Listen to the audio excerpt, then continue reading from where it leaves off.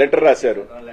తుమ్మరకోట ఒప్పిచెర్ల Palvai gate చింతపల్లిలో ఈ విధంగా రిగ్ జరుగుతుంది. ఇక్కడ రీపోలింగ్ పెట్టమని అదే రోజున మూడు గంటలకి లెటర్ రాస్తే కూడా ఏం పర్వాలేదు.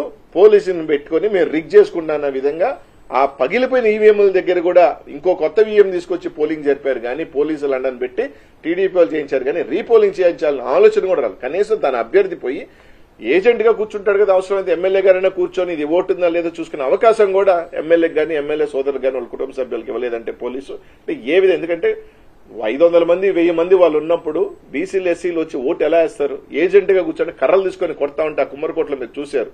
ఏ విధంగా రాడ్డులతో కొట్టారు? ఏజెంట్ తలకాయ బాల్ కొడితే భయం ఉంటుంది కదా. కనీసం ఎమ్మెల్యే పోయి నేను లోపల కూర్చుంటే ధైర్యం ఇస్తాను అని అంటే కూడా దానికి కూడా ఒప్పుకోలేదు తెలుగుదేశం పార్టీ. కనీసం ఆయన రీపోలింగ్ చేయించాలనే ఆలోచన ఎలక్షన్ కమిషన్ ఎందుకు రాలేదు? ఇంతకన్నా చాలా గతంలో తీసుకుంటే చాలా తక్కువ గొడవల ప్రాంతాల్లోనే రీపోలింగ్ జరిగింది. ఇట్లాంటి పెద్ద పెద్ద ఎత్తున పోలింగ్ జరిగిందంటే రీపోలింగ్ ఎందుకు పెట్టట్లేదు?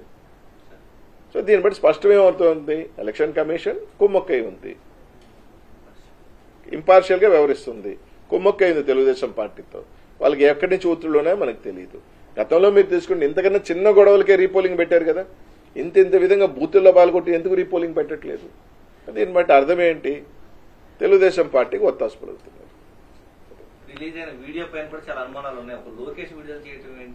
అదే చెప్పేది. లోకేష్ రిలీజ్ చేయటము తెలుగుదేశం పార్టీ గ్రూపులు రావటం. నిజంగా ఒక అఫీషియల్గా రిలీజ్ చేసినప్పుడు ఎలక్షన్ కమిషన్లో నుంచో లేకపోతే ఎలక్షన్ కమిషన్ గ్రూపులు రావాలి. అలా కాకుండా తెలుగుదేశం పార్టీ నుంచి రావటం లోకేష్ ట్వీట్ చేయటం ఎలక్షన్ కమిషన్ స్పందించడం దీని మీద అసలు నేను అడిగేది ఏంటంటే ఎవడు లీక్ చేశాడు ఇది? సరే అది మా తప్ప ఒప్ప దాని గురించి నేను మాట్లాడలేదు. When it is a confidential దాన్ని బయటకు వచ్చింది కదా. బయటకు వచ్చినప్పుడు కొరవ తొమ్మిది ఎందుకు రిలీజ్ చేయట్లేదు? కొరవ తొమ్మిది కూడా రిలీజ్ చేయాలి కదా.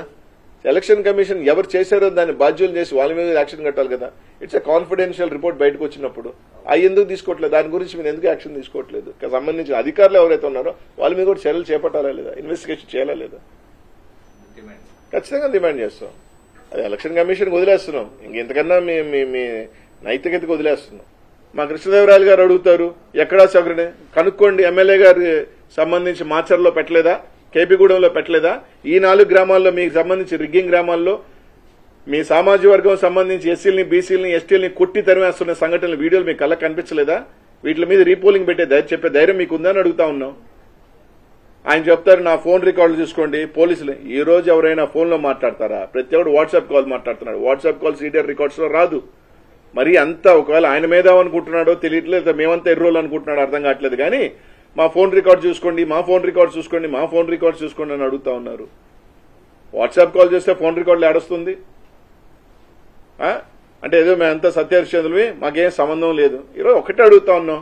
మీరు రెండు గ్రామాల్లో ఇద్దరు డిఎస్పీలను పెట్టినారు. ఈ గ్రామాల్లో ఎందుకు పెట్టలేదు?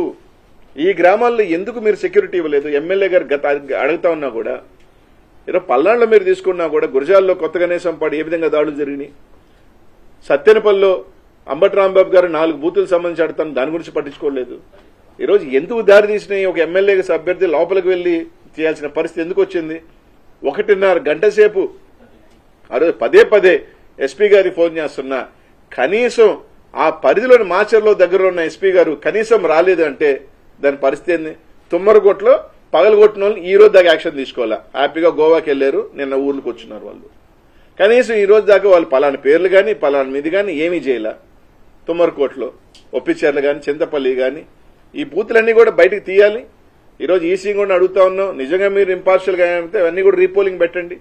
అవన్నీ కూడా నిజంగా రిగ్గింగ్ చేయలేదంటే అంటే బూతులు బాగులు కొట్టేస్తే మాత్రం ఏం పర్లేదు ఓట్లున్నాయి రిగ్గింగ్ చేసినా పర్లేదు పోలీస్ అధికారులను పెట్టుకొని రిగ్గింగ్ చేసుకున్నామంటే వాస్తవం కాదని అడుగుతాం.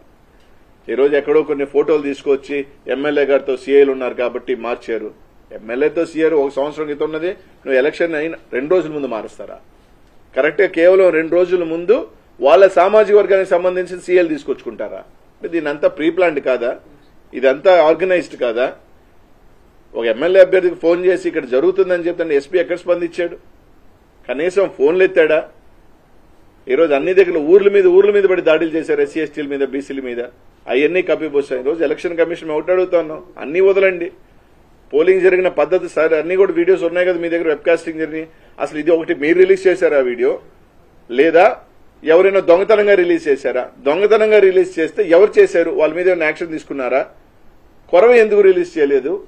అన్ని కూడా తొమ్మిదికి సంబంధించిన ఈవీఎంలు కూడా రిలీజ్ చేయాల్సిన అవసరం ఎంత ఉంది కదా బూత్ అన్ని కూడా టీవీలకి వీటి మీద కూడా మీరు యాక్షన్ రిలీజ్ చేయాల్సిన అవసరం ఉంది కదా. సెంట్రల్ ఎలక్షన్ కమిషన్ వాటి మీద కూడా తీసుకొని రాయాల్సిన పరిస్థితి ఉంది కదా అని అడుగుతా ఉన్నా. కాబట్టి ఇట్లన్నిటి మీద ఎలక్షన్ కమిషన్ నిజంగా ఈ రోజు అడిగితే ఖచ్చితంగా వాళ్ళు వాళ్ళు పార్షాలిటీ చూపిస్తా ఉన్నారు. ఈ రోజు కూడా తెలుగుదేశం పార్టీ వత్తాసుగానే పలుకుతా ఉన్నారు. వాళ్ళ పద్ధతి కానీ వాళ్ళ తీరు కానీ చూస్తూ ఉంటే